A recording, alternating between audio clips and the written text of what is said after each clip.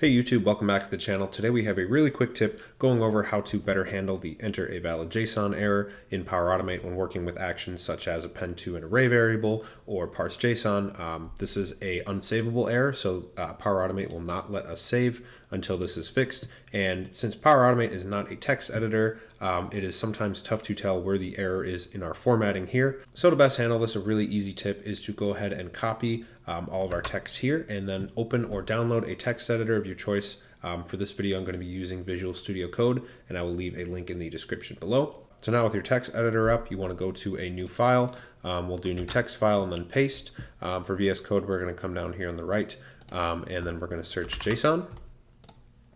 Uh, so right away we can see all of the errors that we have made. So if we start at the top, we can see that we need to add a double quote here.